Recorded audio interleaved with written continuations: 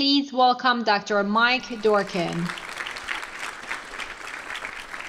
Right. Uh, thank you, Stephen. Thank you for that panel. Lots of lots of great uh, use of language there. Um, uh, pejoratively, I I'm reminded of a, a, a phrase that uh, my wife of 45 years and I have often, uh, which is, uh, "You say you're listening, but are you hearing what I'm saying?" Um,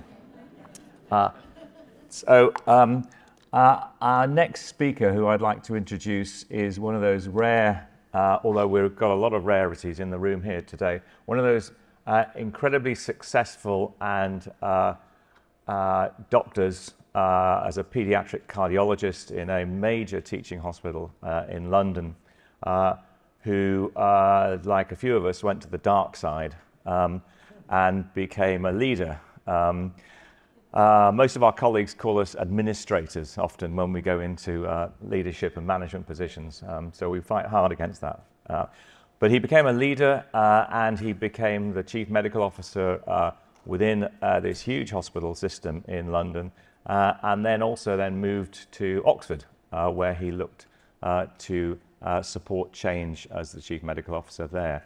Um, he didn't stop there. He then went to become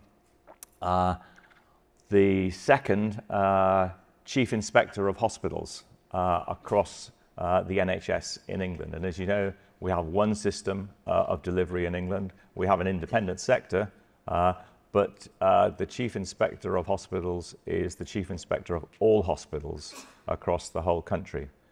so Ted took that role on. Um, during that time, Jeremy Hunt, who was the Secretary of State at the time, uh, asked uh, us to look at how do we create a better environment and a better model for investigating when things have gone wrong uh, to our patients and their families and to the healthcare workers in, in said. And a few items have already been talked about, uh, second victim, uh, disclosure of information. Um, and uh, one of the biggest elements that patients' feedback were getting was that the variability was terrible, was huge in terms of how investigations were taking place, uh, how their clinic, their incidents were being were, were taking place. Uh, investigations were taking too long, um, and they weren't being involved. Patients were not being involved in the way uh, that investigations took place. So our next speaker, Ted Baker, I'd like to introduce you now, is the new chair of uh, the Healthcare Safe, Safety Ser Services Safety Investigation Body in the UK, which is a first uh, globally. Um, our colleagues in Norway have legislation for it, but this is a, a first system approach to doing this. So I'd like you to introduce to Ted, who will take us through that journey. Thank you very much. Thank you. Please welcome Dr. Ted Baker.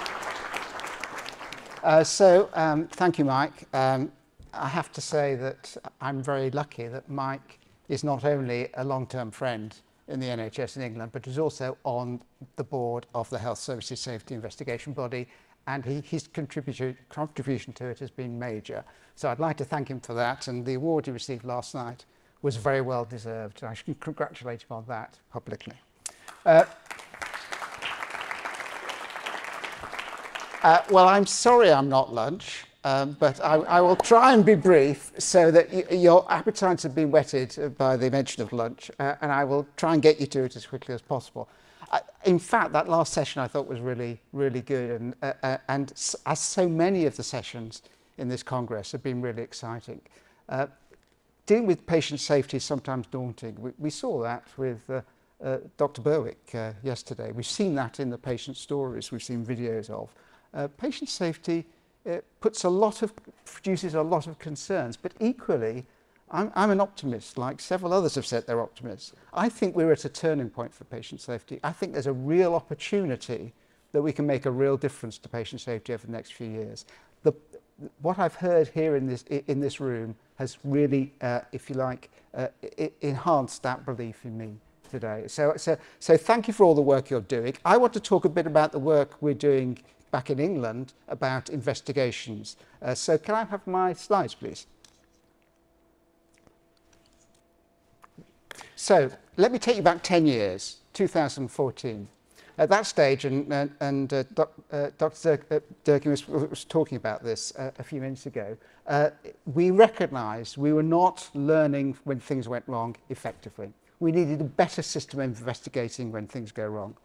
And this paper was published in the Journal of the Royal Society of Medicine. It's by uh, Carl Macrae and Charles Vincent, two patient safety experts. And they said, if you're going to learn effectively when things go wrong in healthcare, you have to have a much better way of investigating, uh, investigating uh, what's gone wrong. And they said this needs to be an independent investigation and it needs to be expert investigation. Too many investigations are run by frontline staff who do not have expertise in safety science. They don't understand how to do a really good quality investigation. They challenged the English NHS to find a different and better way of investigating uh, healthcare incidents. Now, this, we were very fortunate because this was taken up by the House of Commons in, London. Uh, and the Public uh, Administration Committee of the House of Commons did this report in 2015. It's a very good report if you have the chance to read it, but it, sa- it, it said that we needed a new permanent independent body to take dispassionate system-wide view of safety. It was a body that would have safe space for disclosure. And that comes back to what we were hearing just a few minutes ago from the previous panel. It would, it would, it would be given legal immunity for, what it, for its investigations. And it would be a, a repository of good investigative practice and demonstrate that best, practice uh, so that we would lead in terms of improving investigations across the board. And finally, it would not apportion blame or liability. Now, this was a very bold statement by politicians. This was a bipartisan committee. They spoke to aviation experts, they spoke to experts in other fields of safety, uh, in safety critical industries, and they said this is what we need in healthcare. Uh, so they recommended that we set up this body. Uh, legislation was necessary, and legislation, as you all know, takes a long time to deliver. So it wasn't until 2022 when the Healthcare Act, this Portmanteau uh, Act, was delivered in 2022 which set up the new body, which I now chair. In the interim, uh, a, a non-independent body started doing the work, and so safety investigations started moving forward, so we were able to take over a process that was already underway. The Health Services Safety Investigation Body was established as independent of government. And its role is to investigate in, incidents that occur in England during the provision of health services that have or may have implications for the safety of patients. So harm does not need to have occurred for us to investigate. If we believe there's a chance of harm, we can investigate that. And I think that is really very important because we don't want to be a service that first, that, that, that, that first does harm before it learns. We want to do no harm and learn before, before harm occurs. Its purpose is to identify risks and to address those risks by facilitating improvement, by making recommendations to the systems and practices of healthcare. And we finally became an established legal entity on the 1st of October 2023. So we are 11 months old. So we're still new kids on the block. So what do we do? What does a health service safety investigation body do? It promotes healthcare safety excellence and learning through investigation. We do investigations. Through education, we have a very strong educational arm uh, training uh, uh, uh, healthcare staff in investigation across England and collaboration. And we've heard several times already during this, uh, uh, this conference about the importance of collaboration in patient safety. And we don't want to be a body that sits apart from the system. We want to be independent in what we do, but we want to be there, part of the system, encouraging change in culture and investigative practice. We do independent safety investigations. We don't apportion blame or liability. And we focus on the system. We don't focus on the local factors. We focus on the system factors. And one of the things we're keen to do is professionalize the patient safety investigator role. And that's part of our education arm to make sure that the best possible investigations are, are done across the whole system. What's different about what we do? Well, as I said, we don't apportion blame criminal or civil liability, both in our reports but also in our messaging. So we have to be very careful about the language we use in the reports, but also when we're talking publicly about our work. We are not there to find who is to blame when things go wrong. We're, we're there to find out how, what is there to learn to improve the system and make, make patient safety.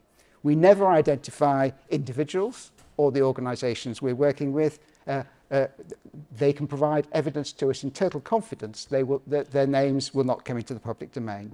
Information we hold is legally protected. It cannot be uh, uh, uh, accessed by any legal route. It is protected from a disclosure. And we do not disclose any of that evidence part of the investigation or even incidents we're consider, considering investigating are not disclosed in public. And our reports, when they come out, cannot be used in any legal proceedings. So our reports cannot be taken and used in a court or regulatory proceedings in any way at all.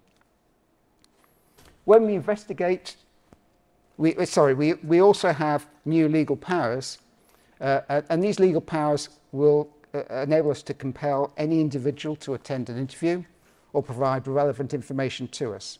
They enable us to enter or inspect any premises in England and we can seize information, documents, IT, IT, uh, information from IT systems or equipment if we need this as evidence for our investigations. And failure to comply with any of this uh, uh, with the instructions of investigator or, de or uh, delivering uh, misleading information is an offence. What do we investigate? Well, we're independent in what we investigate. It's up to us what we investigate. We can only investigate a few incidents every year, so we have to choose very carefully what we investigate. We don't want to repeat or supersede local investigations. We want to support the system in focusing on the main safety risks. So we look for safety incidents that have widespread implications uh, where our approach can add value to the system as a whole. So we want to understand major themes influencing safety. For instance, the management of safety, and I'll come back to that in a few minutes. Fatigue, we're looking at fatigue uh, as a factor in safety. We look at mental health care. We're looking at the justice system and, and, uh, and healthcare in the, in the justice system. We've published only two days ago a report on temporary staffing and the implications of safety of temporary staffing and the need to involve temporary staff in, in, in safety investigations. And we've also published work on the safety risk of information technology. So what do we do? We focus on system improvement, not on human error. We have a, a mantra that human error is a symptom of a, of a safety issue. It is not the cause of a safety issue. We want to understand the reasons why the system allowed the human error to occur. We don't want to identify the human error and make that the, the focus of our concern. We involve its safety investigators from a wide range of backgrounds. Uh, we have uh, people from safety critical industries, we have people from aviation, nuclear, we have policemen uh, uh, uh, uh amongst our, amongst our inspectors. We have some clinicians, but clinicians with a strong background in safety science. We are multidisciplinary in our approach. We involve the, uh, uh, a wide group of people. We bring in subject matter experts when necessary. But most importantly, we always involve patients and patients' families in the investigation process. We heard how important that was a few minutes ago in the session that's just taken place. But what I want to emphasize is we find that patients often have a unique insights into the safety issues.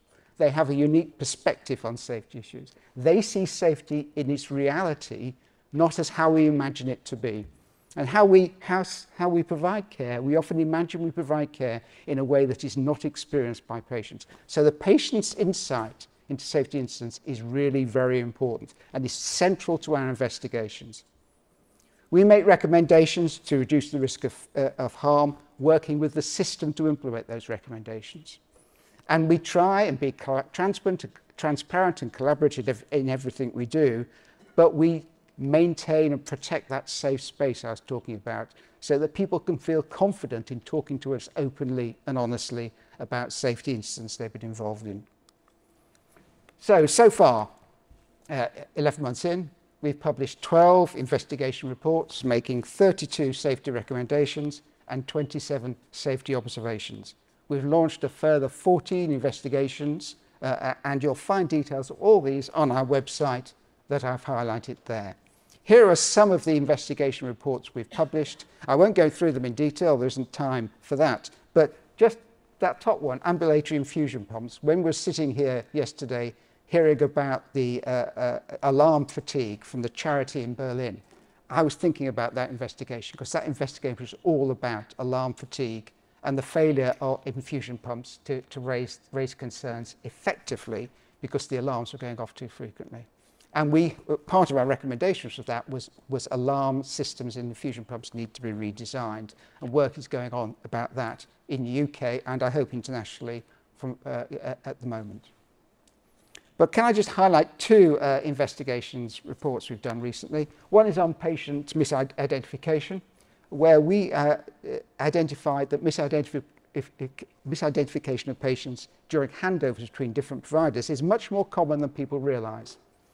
Uh, and we identified that the, the, the problems with this is that, that people assume it is a simple process to ensure the, the identification of patients, and they don't look at the system factors that can go wrong. We asked for more research into what happens when patients are transferred between providers to make sure that their identity is secure. We asked for a more regulatory focus on that handover process to make sure that the regulator is looking at, uh, uh, uh, at the approach to uh, uh, identification during handover. And we are, have recommended they should be moved towards a standardised approach to scanning patients for patient identification across the whole of the NHS in England. So once you're positively identified in one part of the NHS, that identif identification carries with you through the system to, make, to, to, to try and remove the risk of, of misidentification. The second one there, retained surgical swabs, is, is, is a report we published earlier on this year. And this was about a 51-year-old lady who had heart surgery. She had, she, after surgery, she wasn't recovering well. She had problems with chest infections. X-rays showed retained swabs. She went back to theatre. They found the retained swab after a very difficult procedure. Uh, she continued to have problems. Uh, there was still another swab that, that they put inside her. She had to go back a second time for retained swabs. So this poor lady had a dreadful uh, experience and there were real problems identified. What we looked at was the process for identifying where swabs were missing and the reconciliation of swabs at the end of an operation. And we found that had been designed without any human factors input, without, without any uh, sense of the um, user focus of that and the environment in which, in which, in which, which people are working. We recommended that the process should be redesigned using the best human factors and safety science. And we recommended that there should be more research into, into the technologies that could help support the uh, correct uh, uh, reconciliation of swabs after the operation. So an important one, a, a, one that, a report that focuses on human factors. And finally, my final slide, we made a major recommendations when the uh, uh, uh, organisation was set up about uh, safety management systems. We emphasised that healthcare is complex. We heard that earlier on in the previous session. And there is an assumption that that complexity, the safety in that complex service can be managed easily. And there is, a, there's a lack of humility. We will not learn from other health, health industries, uh, sorry, other sa safety critical industries, where safety management systems have made dramatic improvements in the way safety is managed over the last 20 years. The time, this is now the time for healthcare to catch up. And if we are going to improve safety, introducing a better way of managing safety on a day-to-day -day basis, built on a really strong patient safety culture, is absolutely essential. That's my last slide. Thank you very much, everyone. If, do,